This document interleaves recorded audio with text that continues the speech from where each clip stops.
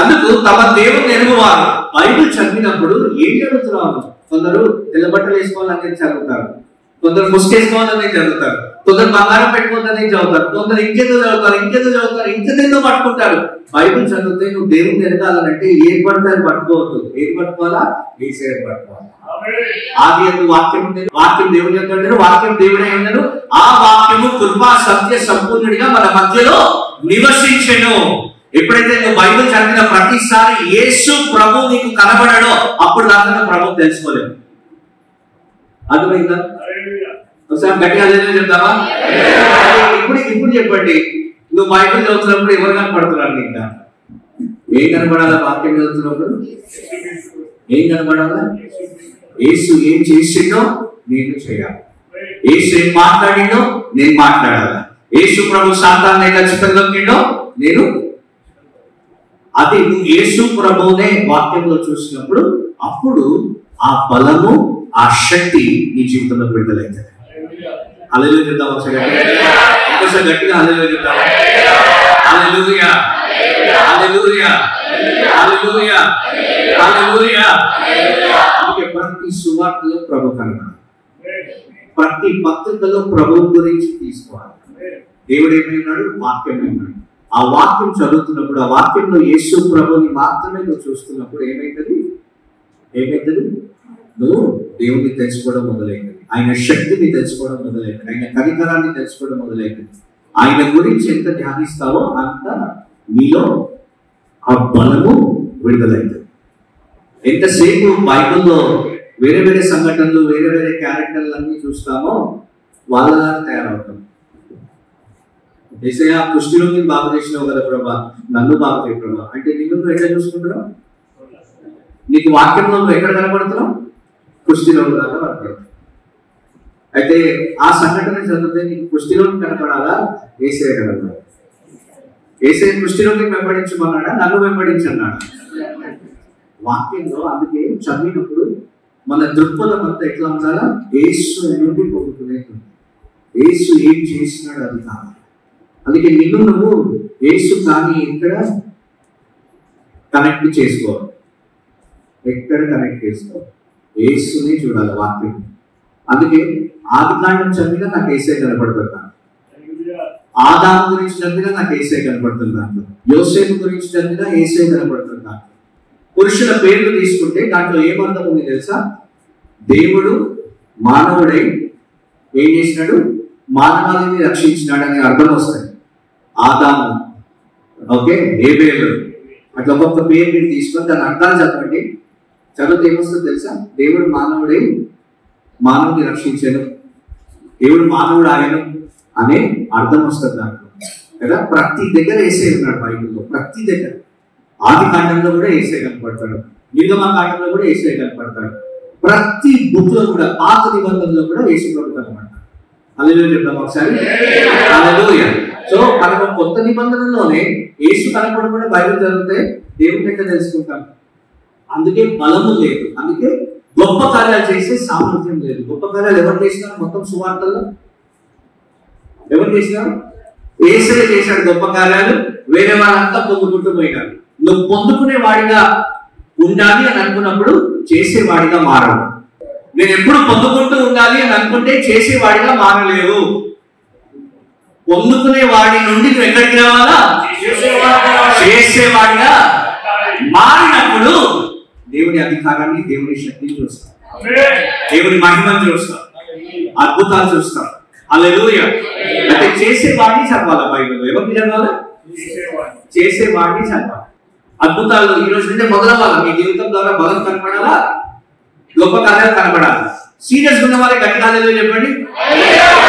అయితే ఒక కాలం చేయి మీకు ఇస్తున్నాను నేను. మా నాన్నకి పక్షవాతం వచ్చింది. నేను ఉపవాస ప్రార్థనలో ఉన్నప్పుడు ఆయన మొత్తం అంతా పక్కకు వచ్చేసింది కాలు చేయి పడిపోయింది. నేను ప్రార్థనలో ఉంటే ఎక్కువ వచ్చినా బయటికి మా అమ్మ తెలుసు తలుపు కొట్టారు అసలు. అయితే ప్రార్థన గదిలో ఉంటే పొద్దున్నే మూడు గంటలకు వచ్చి తలుపు కొట్టింది. తలుపు కొట్టి నాన్న ఒకసారి బయటికి రా అంటే పరిశుద్ధాత్మ నాకు మాట్లాడుతున్నాడు. నాన్నకి బాగలేదు నువ్వు పోయి స్వస్థపరచు అని పరిశుద్ధాత్మ మాట్లాడాడు అయితే ఆ రోజు ఆ దినమంతా ఆ సంఘటన జరిగే ముందు ఆ దినమంతా వాక్యం ముందు ఏం చేసినా తెలుసా? ఫిలిప్ ఎంతో మంది పక్షవాతం గలవారిని స్వస్థపరిచాడంట. ఇక్కడ సమరయాలు. ఆయన సమరయానికి పోయి సువార్త ప్రకటించినప్పుడు అపోస్తుల కార్యాలయంలో చాలా మంది పక్షవాతంతో బాధపడుతున్న వారు స్వస్థత పొందుతున్నారు. స్వస్థత పడింది అనే మాట చాలా సార్లు జరపన్నాను బయటకు వస్తే మా నాన్న పక్షవాతంతో బాధపడతా ఉన్నాను ఆయన చూసినాను ఆయన చేయబట్టున్నాను వేస్తున్నామంలో అన్నాను వదిలేసినాను మొత్తం అంతా సెట్ అయిపోయింది చేయి సెట్ అయిపోయింది కాలు సెట్ అయిపోయింది. చాలా ప్రార్థన చేసుకోపోవాలన్నాడు అయితే ఆ దినమంతా ఆ వాక్యాన్ని చదివించి పక్షవాతాన్ని బాగు చేయడానికి దేవుడు సిద్ధపరిచారు ఓకే. ఓకే. ఎవరైనా బలహీనులు వాళ్ళకి పక్షవాతం వచ్చింది అనుకున్నారు వాళ్ళు ఇంటికి వచ్చి ప్రార్థన చేయండి అడగాలని పిలుస్తున్నారు అనుకోండి. అక్కడ అద్భుతం జరగాలంటే ఏం చేయాలి తెలుసా? బైబిల్లో యేసు ప్రభు ఎక్కడెక్కడ పక్షవాతం గల వారిని బాగు చేశాడో అది వందల సార్లు చదవాలి ఇది నేను ఒక కీ ఇస్తున్నాను మీకు. ఇది చేస్తే మీరు ఎక్కడ పోతే అక్కడ అద్భుతాలు చూస్తాను నేను అదే చేస్తాను యేసు ప్రభు ముప్పై ఎనిమిది సంవత్సరాలుగా పడక మీద పడిన వారిని లేపెను అనే ఆ ఒక్క అద్భుతము ఒక వంద సార్లు చదివి అక్కడ పోయి చేపెట్టు అద్భుతం జరుగుతుంది. ఎందుకంటే ఆ వాక్యము ఏం చేస్తే చదువుతున్నా కొద్ది చదువుతున్నా కొద్ది చదువుతున్నా కొద్ది చదువుతున్నా కొద్ది ఆ అధికారము ఆ బలము నీ ఆత్మలోకి వస్తాయి అదే చెప్తాం ఒకసారి గట్టిగా? ఒక వంద సార్లు ఒక రెండు వందల సార్లు ఒక మూడు వందల సార్లు ఒక నాలుగు వందల సార్లు ఎక్కువ టైం ఉంటే కొన్నిసార్లు వెయ్యి సార్లు చదువు అదే మాట. లేక ఒక గుడ్డోతో వెళ్ళిపోతున్నాం ప్రార్థన చేయడానికి ఆ గుడ్డోడు బాగోవాలా యేసుప్రభు ఎంతమంది గుడ్డోలను బాగు చేసిందో బైబిల్లో అది ఒక వంద సార్లు ఉంది. ఆ రోజు ఒక గుడ్డివాని కోసం ప్రార్థన చేయడానికి వెళ్తున్నప్పుడు ఆ గుడ్డివాన్ని బాగు చేసిన సంఘటన మొదటిసారి రెండోసారి మూడోసారి నాలుగోసారి ఐదోసారి వందోసారి రెండు వందలోసారి మూడు వందలోసారి చదువుతున్నప్పుడు ఏమైందో తెలుసా? అక్కడ కనబడుతున్న యేసు ప్రభు అక్కడ నుండి వచ్చి నీలో కనబడడం మొదలైంది. ఆ శక్తి ఆ సన్నిధి నీలో కనబడడం మొదలైంది. అప్పుడు నువ్వు పోయి ఆ గుడ్డివాన్ని చేయబెట్టు. ఆ గుడ్డివాన్ని బాగు చేసిన ఆ అద్భుతము అక్కడ జరిగింది ఇక్కడ జరుగుతుంది.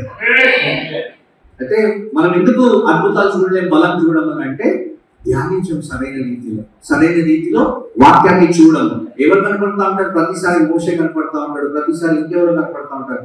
వాక్యం చదివిన ప్రతి చోట నిన్ను నువ్వు ఎక్కడ చూసుకోవాలో? దృష్టిలోకి లాగా చూసుకోవద్దు.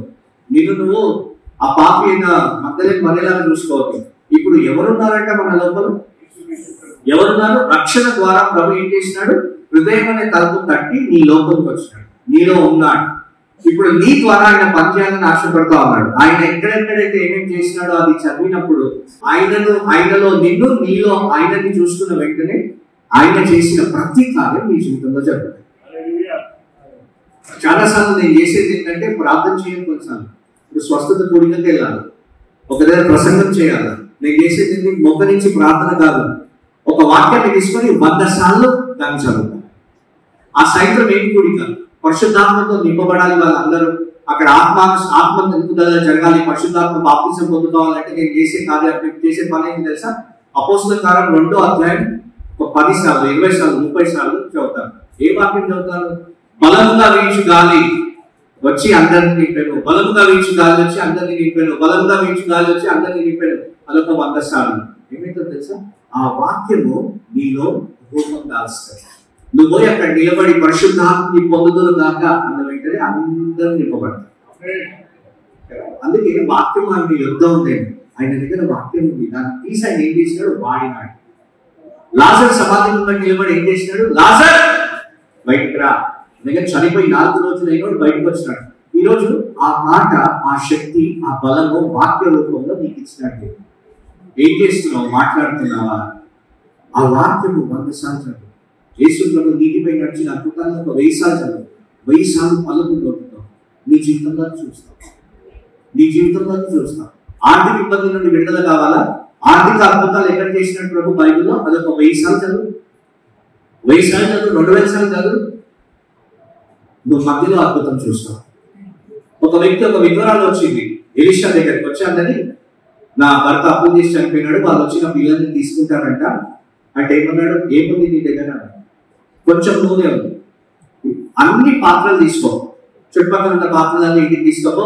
తలుపు పెట్టు ఆ నూనె పోయి ఆ నూనె పోస్తే ఏమేంటి ఉన్న కొంత నూనె పెరిగి పెరిగి పెరిగి పెరిగి ప్రతి ఒక్క పాత్ర నిండిపోయి ఇంకే పాత్ర లేనంటే నూనె ఆగింది. అప్పుడు నువ్వు చేయాల్సింది ఆ అద్భుతాన్ని చెప్పినావు కదా దేవుడు చేసినాడు కదా ఆయన నిన్న నేడు నిరంతరం ఏకరీతిగా ఉన్న దేవుడు కదా అదే శక్తి గల దేవుడు కదా ఇప్పుడు చేయగలుగుతాడు కదా. నీకు లక్ష అప్పు ఉందనుకో చేయాల్సింది ఏంటి? దాన్ని ఒక చదువు ఆ అద్భుతాన్ని కూర్చొని చదువు. ప్రభా నాకు జరగాలి ఈ అద్భుతం. ఇక్కడ నన్ను నేను చూసుకుంటున్నాను ప్రభా ఈ అద్భుతం జరిగించు అన్నప్పుడు దేవుడు ఆ అద్భుతం నీ జీవితంలో చేస్తాడు. అలెలుగా చెప్తాను దేవుడు మన చేతిలో పెట్టాడు సర్వాంగ కవచంలో దేవుడు ఒకే శిరస్నానాన్ని సత్యం అనే తండ్రిని ఢాలుని అన్ని ఇచ్చి చివరిలో చేతిలో ఏం పెట్టినాడు? వాక్యం అనే ఖడ్గం పెట్టినాడు. రెండంచుల దేవుని వాక్యము. అయితే ఖడ్గం వాడకపోతే మనం దేనిగా కోయగలుగుతామా కత్తి వాడకపోతే టమాటా అయినా కోయగలుగుతామా కోయలేదు అయితే వాక్యం అనే ఖడ్గం ఏం చేస్తుంది? మీ సమస్యలను కోసిపడేస్తుంది ఆ వాక్యం ఎప్పుడైనా చదివినా ఇక్కడ ఒకటే వచనము వంద సార్లు రెండు వందల సార్లు మూడు వందల సార్లు నాలుగు వందల సార్లు ఐదు వందల సార్లు ఎప్పుడైనా చదివినా చదవలేదు కదా? అందుకే చెప్తున్నాను ఈరోజు చెప్తా ఉన్నాను నీకు ఏ సమస్య ఉందో ఆ సమస్య బైబిల్లో చూసుకొని ఇక్కడ అద్భుతం జరిగింది నాకు జరగాలి. అని ఆ అద్భుతం తీసుకొని ఒక వంద సార్లు ఐదు వందల సార్లు వెయ్యి సార్లు జరుగు నువ్వు చూస్తావు అద్భుతం? ఒక్క రోజులో ఆ అద్భుతం. నీ జీవితంలో జరగడం చూస్తాం. అల్లెలు ఒక్క రోజులో జరుగుతుంది. జరుగుతుందా? జరుగుతుంది కదా? ఒకసారి గట్టిగా చేతులైతే హల్లెలూయా చెప్తామా ఏసైకి ఒకసారి గట్టిగా హల్లెలూయా చెప్తామా? హల్లెలూయా ఒకటి వాక్యము చదువుట ద్వారా ధ్యానించడం ద్వారా వాక్యం పలుకుట ద్వారా నువ్వు దేవుని తెలుసుకుంటావు ఆ దేవుని శక్తి నీ లోపలికి వస్తాయి. దేవుని శక్తి నీ లోపల విడుదలైంది. నాకు చదువు రాదు నేను చదవలేనండి. మరి నా సంగతి ఏంటంటే యేసు క్రీస్తు అనే మాట వేసాలనుకున్నాను వెయ్యిసార్లు యేసు క్రీస్తు అనే మాట వెయ్యిసార్లు ఎందుకంటే యేసు క్రీస్తు ఎవరి పేరు? దేవుని వాక్యానికి పరలోకం పెట్టిన పేరు. సో యేసు క్రీస్తు అంటున్న ప్రతిసారి నువ్వు ఏమంటా ఉన్నావు దేవుని వాక్యంతో ఏకీభవిస్తా ఉన్నావు. అదే శక్తి నీ ద్వారా కలగదు ఆ అద్భుతము కొన్ని గంటల్లో నీ జీవితంలో జరుగుతుంది. అలా చెప్తామా ఇంకోసారి. తమ దేవుని ఎరుగు వారు బలము కలిగి గొప్ప కార్యాలు చేస్తారు ఇంకోసారి చెప్పండి. తమ దేవుని ఎరుగు వారు బలము కలిగి గొప్ప కార్యాలు చేస్తారు. పొందుకునేవారా? చేసేవారా? అంటే చేసే ప్రతి వాడు పొందుకునే ఉంటాడు. పొందుకున్నదికే చేయగలుగుతాడు. అల్లెలు చెప్తాం ఒకసారి? అల్లెలు రెండవది వాక్యం ఏం చెప్తా ఉంది తెలుసా? సమరయ స్త్రీ దగ్గర యేసుక్రీస్తు ప్రభు ఒక గొప్ప ప్రత్యక్షత విడుదల చేసినాడు. ఆమె నీటి కొరకు వచ్చింది. ఓకే తాడేసి నీళ్ళు తీసుకుంటా ఉంటే ప్రభు అన్నాడు ఈ నీళ్ళు తాగేవాడు మళ్ళా తప్పించుకుంటాడు కానీ నేను నీళ్ళు తాగేవాడు ఎన్నటికీ తప్పించుకున్నాడు మీరు తెలివంతాన్ని ఆరాధిస్తా ఉన్నారు. అని ఏం చెప్పినాడు తెలుసా? దేవుడు ఆత్మ ఉన్నాడు. ఏం చెప్పినాడు? దేవుడు ఏమై ఉన్నాడు? ఆత్మ ఉన్నాడు. ఆయన ఆరాధించే వాళ్ళు ఆత్మతోనూ సత్యముతోనూ ఆరాధించాలని చెప్పినాడు. అయితే దేవుడు వాక్యమై ఉన్నాడు. దేవుడు ఆత్మ అయి ఉన్నాడు. అందరు చెప్పండి దేవుడు ఏమై ఉన్నాడు వాక్యమై ఉన్నాడు? దేవుడు ఆత్మ అయి ఉన్నాడు. అంటే దేవుణ్ణి వాక్యం చదివి తెలుసుకోవచ్చు ఆయన ఆత్మ పొంది తెలుసుకోవచ్చు. ఆమె యేసుక్రీస్తు ప్రభుకి ఏమని పేరు తెలుసా? ఆయన మాటలోను క్రియలోను శక్తివంతమైన వాడు. మాటలోను శక్తివంతుడు క్రియలోను శక్తివంతుడు. మాట అంటే దేవుని వాక్కు. క్రియ అంటే ఆత్మలు దేవుడు ఆత్మ ఉన్నాడు దేవుడు వాక్యమై ఉన్నాడు. అయితే నీకు ఏ దేవుడు తెలుసు? వాక్యమై ఉన్న దేవుడు తెలుసా? ఆత్మై ఉన్న దేవుడు తెలుసా? వాక్యమై ఉన్న దేవుడు ఏం చేస్తాడు? నేను బలముతో గొప్ప కార్యాలు చేసేవాడిగా చేస్తాడు. ఆత్మ అయి ఉన్న దేవుడు నీ ఆత్మను ఆయనలాగా మారుస్తాడు. హల్లెలూయా అంటే క్రీస్తులోకి రక్షణ పొందినవాడు క్రీస్తుతో ఏకాత్మ అయిపోయినాడు ఆమె ఓకే ఇప్పుడు నీ ఆత్మ. వాక్యము శరీరంలో స్టోర్ అయిపోయి అది నీ నోట ఉండి నీ మనస్సులో ఉండి ఏం చేస్తుంది? అద్భుతాలు చేసేటట్టుగా దేవుని బలాన్ని కనపరిచేటట్టుగా చేస్తారు అదే ఇంకో సైడ్ దేవుడు వాక్యమే కాక ఆయన ఆత్మై ఉన్నాడు. దేవుడు ఆత్మై ఉన్నాడు. అందుకే ఆయన అన్న మాట లేక ఆయన చెప్పింది ఏంటంటే పరిశుద్ధాత్మతో నిండిన వారిగా ఉండండి అన్నారు. యేసుక్రీస్తు ప్రభు ఎట్లా ఉన్నాడంటే? పరిశుద్ధాత్మతో నిండిన వాడిగా ఉన్నాడు. వాక్యముతో నిండిన వాడిగా ఉన్నాడు. రెండవది పరిశుద్ధాత్మతో నిండిన వాడిగా ఉన్నాడు. అయితే ప్రతి వానికి మనందరికీ కావాల్సింది ఏంటి తెలుసా? సమృద్ధిగా వాక్యం ఉండాలా? సమృద్ధిగా పరిశుద్ధాత్మ కావాలి. ఆమె దేవుడు వాక్యమై ఉన్నాడు దేవుడు ఏమై ఉన్నాడు? ఆత్మ అయి ఉన్నాడు. సో ఇప్పుడు ఒక చిన్న ప్రశ్న ఇక్కడ. ఇక్కడ ఎంతమంది మీలో అన్ని భాషల్లో ప్రార్థన చేయగలరు? దాని అర్థం ఏంటంటే ఆత్మైన దేవుడిని తెలుసుకోవాలి. వాక్యమైన దేవుడిని తెలుసుకుంటాను. ఆత్మైన దేవుడిని తెలుసుకోవాలి. అయితే వాక్యము మీ నోట ఉంది. అంటే లాజర్ చనిపోతే ఇష్టపడ్డాడు లాజర్ బయటికి రాడు తెలుగులో మాట్లాడినాడు లేక ఇంగ్లీష్లో మాట్లాడినాడు లేకపోతే అప్పుడు హీబ్రూ అరబిక్లో మాట్లాడినాడు. అది జరిగింది. తెలుగులో బైబిల్ చదివినప్పుడు ఏమైతుంది తెలుగులో ఆ మాట విశ్వాసం నీ తెలుగు నీకు వచ్చిన భాషతో నువ్వు మాట్లాడతావు గుడ్డివాడు బాగుపడదు కాబట్టి బాగుపడతాడు వెళ్ళిపోతాడు. అయితే అది ఏమాత్రము నీ ఆత్మను పెంచదు నీ ఆత్మను బలపరచదు. అది నీ మనసు ఏమైతుంది? మనసు ఏమైతే ఉండదు ఆ క్షేమాభివృద్ధి పొందుకుంటా ఉంటుంది నీ మనస్సుకి వాక్యం అర్థమైతా ఉంటుంది కాబట్టి బలాన్ని పొందుకుంటూ ఉంటావు ఆ కార్యం చేయడానికి సిద్ధపడతా ఉంటావు ఆత్మకు పోషణగా ఉంటుంది. కానీ నీ ఆత్మ దేవుని స్వరూపంలోకి వచ్చి నీ ఆత్మ ప్రతిరోజు పెద్దదవ్వాలి. ఆత్మలో నువ్వు ఎదగాలి. శారీరకంగా ఎదిగినా ఆగిపోయినా ఇక్కడ ఆత్మలో ఆపుదల లేదు ఎంతైనా పెరగవచ్చు ఆత్మలో. నీ ఆత్మ పెరగాలంటే దేవుడు చేసేది ఏంటంటే పరలోకపు భాష. ఇప్పుడు వాక్యం నువ్వు తెలుగు తెలుగు బైబిల్ ఎంతమంది చదువుతుంది ఇక్కడ? తెలుగు బైబిల్. అయితే ఆ తెలుగు బైబిల్ చదివినప్పుడు దేవుని మాట ఎట్లా మాట్లాడతాం తెలుగులోనే మాట్లాడతాం అంటే ఒక గుడ్డివాడు ముందుకు వస్తే ఏసునామంలో గుడ్డివాడ బాగుపడు అని అంటాం తెలుగులో. కానీ ఇక్కడ ఏమవుతుందంటే ఆత్మ అయిన దేవుడిని తెలుసుకుంటున్నప్పుడు ఆయన పరలోక భాష తీసుకొచ్చి నీ నోట పెడతాడు. భూమిపై ఉన్న భాష వాక్యం ద్వారా నువ్వు మాట్లాడుతున్నావు. పరలోకం నుండి పరిశుద్ధాత్మ వచ్చి నిన్ను నింపి ఆత్మ దేవుని నువ్వు తెలుసుకోవడం అంటే దేవుడిలో రెండో కోణాన్ని నువ్వు తెలుసుకోవడం మొదలైనప్పుడు అన్య భాషలు నీకు ఇస్తాడు. పరలోకపు భాష నీకు ఇస్తాడు. అయితే ఈ పరలోకపు భాష మాట్లాడిన ప్రతి వాడు ఏం చేస్తున్నాడంట? తనను తాను కట్టుకుంటున్నాడు అని వాక్యంలో ఉంది. తనను తనకు తాను ఏం చేసుకుంటాడంట? క్షేమాభివృద్ధి కలగ చేసుకుంటా ఉంటాడు. అందుకే వాక్యం ఏముందంటే ప్రవచించువాడు ఎదుటి వానికి క్షేమాభివృద్ధి కలగజేస్తాడు. కానీ భాషలతో మాట్లాడేవాడు తనకి తాను క్షేమాభివృద్ధి కలగజేసుకుంటాడు. తనకు తాను క్షేమాభివృద్ధి కలగజేసుకోవడం అంటే ఏంటంటే నిన్ను నువ్వు కట్టుకుంటావు. అంట అల్లెలు చెప్తాం ఓకే నిన్ను నువ్వు ఎంతవరకు కట్టుకుంటావు? నీ ఆత్మను ఎంతవరకు కట్టుకోవచ్చు ఈ సంఘము ఈ మందిరం కట్టబడడానికి ఎన్నో ఇటుకలు అవసరం పడింది ఈ సంఘం ఈ రూపంకి రావాలంటే ఒక్కొక్క ఇటుక పెట్టబడి ఒక్కొక్క ఇటుక పెట్టబడి. సో వాక్యంలో ఏముందంటే అన్య భాషలతో ప్రార్థించువాడు అన్య భాషలతో మాట్లాడేవాడు మనుషులతో కాదు దేవునితో మాట్లాడుతున్నాడు. దేవునితో మాట్లాడడం మంచిదా కాదు? మంచిదా? గట్టి చెప్పండి తెలుగులో మాట్లాడితే దేవునితో మాట్లాడతలేమో? మాట్లాడుతున్నాము. కానీ మనందరికి తల్లి భాష అనేది ఉందా ఫామ్లో మదర్స్ టంగ్ అని అడుగుతారా లేదు.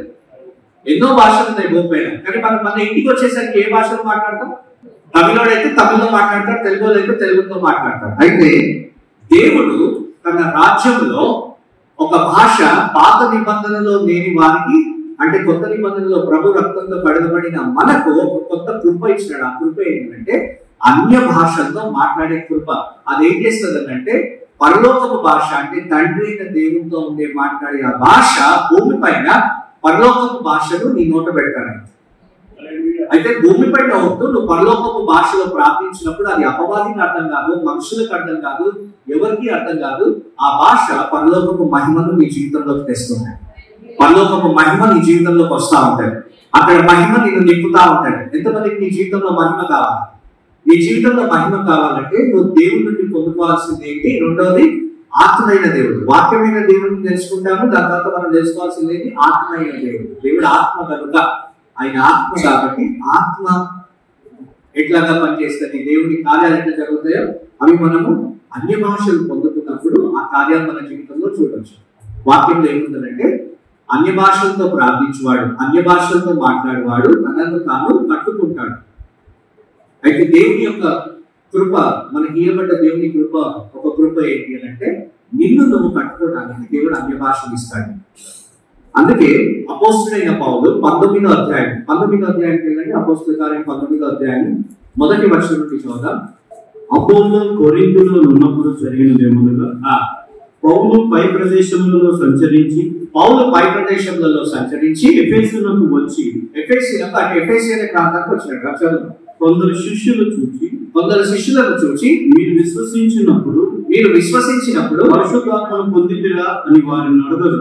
పరిశుద్ధాత్మను పొందితిరా అని వారిని అడగగా వారు ఆ, పరిశుద్ధాత్ముడు అన్న ఉన్నాడన్న సంగతియే మేము వినలేదని చెప్పిరి. పరిశుద్ధాత్ముడు ఉన్నాడన్న సంగతియే మేము వినలేదని చెప్పి వినలేదని చెప్పి అప్పుడు ఆయన అలాగైతే మీరు దేనిని బట్టి బాప్తిస్మం పొందితిరని అడగగా? ఆ, వారు బాప్తిస్మమును బట్టి అని చెప్పిరి. ఆ, అందుకు పౌలు ఆ.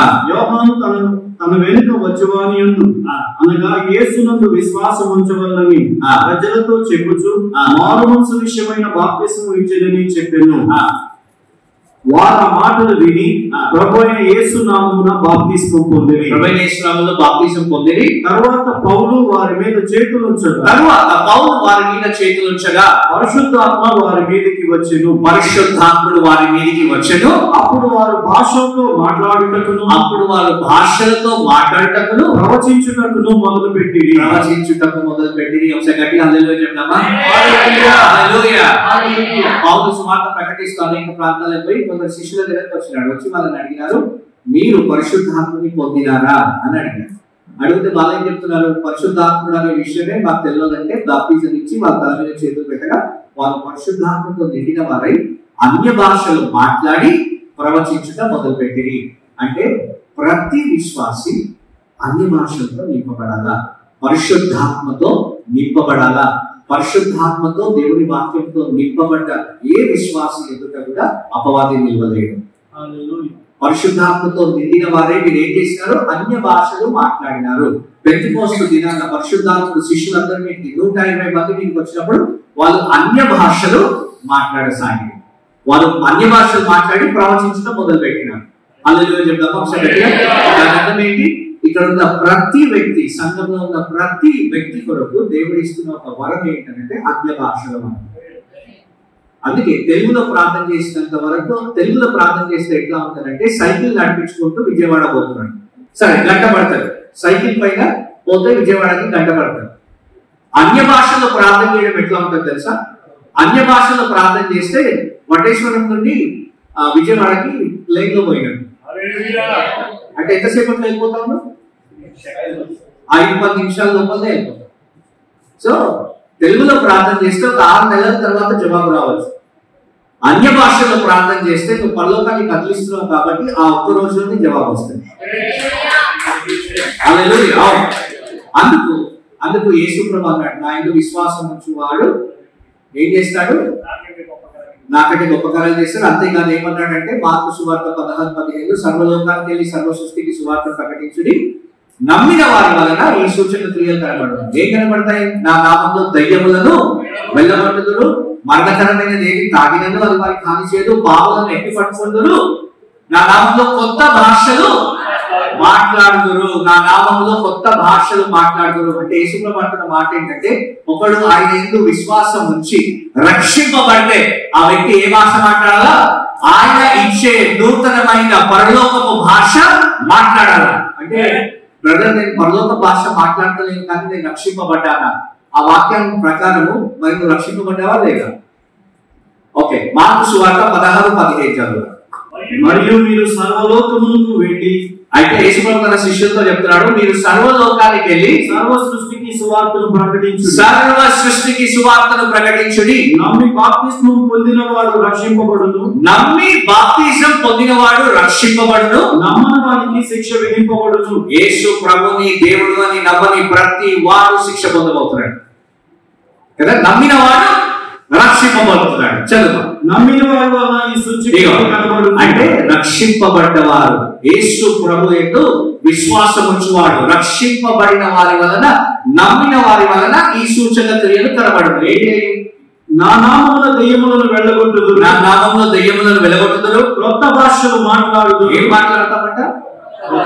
ఏం మాట్లాడతామంట? క్రొత్త భాష అంటే నీ రక్షణకు సూచన అద్వితీయమైన భాష.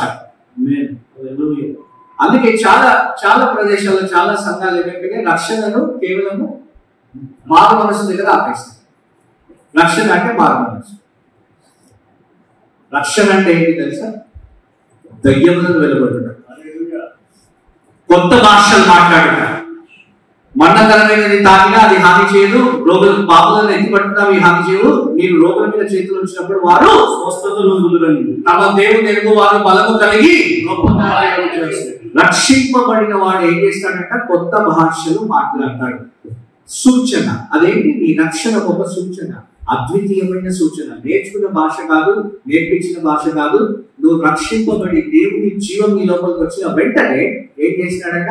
నీకు కొత్త భాషలు కలిగిస్తాడు. ఆ భాషలో నువ్వు ప్రార్థన చేసినప్పుడు పది సంవత్సరాలు తెలుగులో ప్రార్థన చేస్తే పది సంవత్సరాలకి నువ్వు ఒక ఆత్మీయ స్థాయికి పోతే అదే అన్య భాషల్లో ప్రార్థన చేసేవాడిగా నువ్వు ఉన్నప్పుడు ఆత్మ దేవుణ్ణి తెలుసుకుంటా పోతున్నప్పుడు పది సంవత్సరాల్లో నువ్వు పోయే ఆత్మీయ స్థాయి ఒక్క నెలలోకి వెళ్ళిపోతాం ఒక్క నెలలో పది సంవత్సరాల ఆత్మీయత పొందుకుంటాం అన్య భాషలతో మాట్లాడితే అన్య భాషలతో ప్రార్థన చేస్తే. ఇంకో విషయం ఏంటి అంటే అన్య భాషల్లో మాట్లాడని ఎవడు కూడా తనను తాను కట్టుకోలేడు ఈరోజు నిన్ను నువ్వు బలహీనుడు ఎక్కడ చూసుకుంటున్నావు అంటే అన్య భాషల ప్రార్థన అనుభవము ఎక్కువగా నీకు లేదు అన్ని భాషలని వరం పొందుకోలేదు కాబట్టి. పెట్టుకొస్తు దినాన ఏం జరిగింది?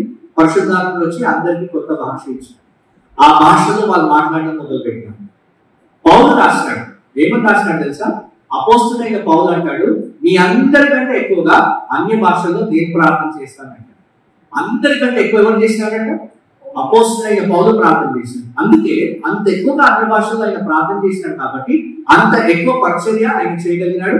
అంత ఎక్కువ పరిశుద్ధాత్ముడు ఆయనని వాడుకోగలిగినాడు. నీకు పరిశుద్ధాత్ముడు వాడుకోవాలంటే ఇంకొక తాళం చేతి మీకు ఇస్తా ఉన్నాను. నువ్వు ఎంత వాడబడాలనుకుంటే అంత అన్య భాషల్లో ప్రార్థన చేయాలి. నువ్వు ఎంత వాడబడాలనుకుంటే అంత అన్య భాషల్లో ప్రార్థన చేయాలి. అంత వాక్యం చదువుతావు అంత అన్య భాషలతో మా ప్రార్థించాలి. అంత అన్య భాషలో ప్రార్థించినప్పుడు నీ ఆత్మీయ జీవితము ఎరుపుగా ఎదిగిపోతుంది పైకి. ట్రైన్ బస్సు సైకిల్ కాదు. ఫ్లైట్లోకి వెళ్ళిపోయినట్టే స్పీడ్ స్పీడ్ ఎక్కిపోతుంది ఇలా నా జీవితంలో నేను ఇప్పటిదాకా చేసిన అన్య భాషల్లో ఒకేసారి ఎంతసేపు ప్రార్థన చేశానంటే డెబ్బై రెండు గంటలు చేశాను ఒకసారి. డెబ్బై రెండు గంటలు అంటే మూడు రోజులు మూడు రాత్రులు. తెలుగు కాదు హిందీ కాదు హల్లెలూయా స్తోత్రం. ఆహా అన్య భాష పరిశుద్ధాత్మ ఇచ్చిన ఆ భాషలో మాట్లాడుతున్నప్పుడు డెబ్బై రెండు గంటలు నిలబడి ప్రార్థన చేయగలిగాను. ఇంకోసారి ఐదు రోజులు ఐదు రాత్రులు ప్రార్థన చేసినాక మధ్యలో ఒక గంట రెండు గంటలు గ్యాప్ వచ్చింది. ఏం తినకుండా ఏం తాగకుండా రూమ్లోకి వెళ్ళిపోయి మూడు రోజుల తర్వాత బయటకు వచ్చేవాడు అట్లా ప్రార్థన చేస్తా ఉన్నప్పుడు పరిశుద్ధాత్మ చేసే కార్యాలు అట్లాగే పదిహేను పదిహేను గంటలు పదహారు గంటలు వాక్యం చదువుతా ఉన్నప్పుడు వాక్య ప్రత్యక్షతలు వాక్యమైన దేవుడు ఆత్మైన దేవుడు ఇద్దరి ప్రత్యక్షత కలిగి నీ జీవితంలో దేవుడు కూడా కోరుతుంది ఏంటంటే నువ్వు వాక్యంతో నిన్ను నింపుకోవాలా? రెండోది పరిశుద్ధాత్మతో నిండిన వాడిగా ఉండాలి చెప్తావా? ఇంకొకసారి గట్టి హల్లెలూయా చెప్తావా?